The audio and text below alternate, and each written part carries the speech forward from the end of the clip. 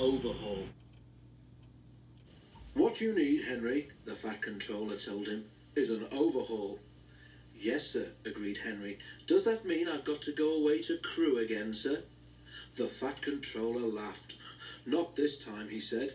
You won't believe this, Henry, but nowadays the people at Crewe couldn't do the work you need.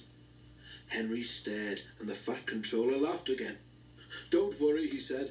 We can do everything at my works. All I have to do is get you there. If James takes the express tomorrow, went on the Fat Controller, we can couple you in front. Do what you can to help, and you can go to the works in style. Henry told James that night. Help me, James snorted. I don't need help. I can pull the express by myself, thank you. Overhaul indeed. Two engines on one train is an overhaul, if you ask me. But the Fat Controller had already made the arrangements, so there was nothing James could do about it.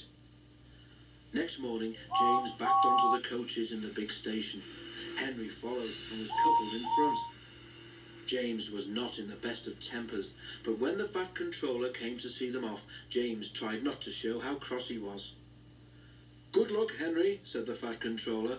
The people at the works know what to do, so you won't be there too long. James and Bear will take turns with the express when Gordon is busy. The express only stops once before it reaches the other railway, and that is at the works station. Because of his leaky smoke box, Henry could not help very much, but he saved his hardest effort for Gordon's Hill. The two engines raced up it faster than they'd ever done. When they reached the top, James was feeling better. That was fun, he said. We might even be early at the workstation. We shall need extra time to uncouple you anyway. James spoke too soon. They had just crossed the viaduct when Henry felt something wrong with one of his wheels. Something's wobbling, he told his driver. Just then they both heard a cracking noise. Ouch! exclaimed Henry. Whatever it is, I think it's broken. They were passing a station. Something hit the platform and a brick flew past Henry's cab. It bounced off James's boiler and disappeared. Ow! exclaimed James. Henry might need mending, but he needn't throw his broken bits at me. Just then, James and his driver heard Henry whistling to warn them that he wanted to stop. More bits and pieces flashed by, some hitting the carriages. Using the brakes skillfully, the drivers stopped the train. Then, while the guard made sure that the train was protected behind, James's driver went to see if any passengers had been hurt by the flying debris. No one had, but one of the carriage windows was broken.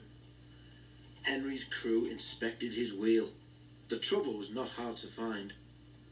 Your wheel has a steel rim called a tyre, Henry's fireman told him. It has broken and come off. It's a miracle it didn't do more damage. James pushed Henry into a siding and went back to the train.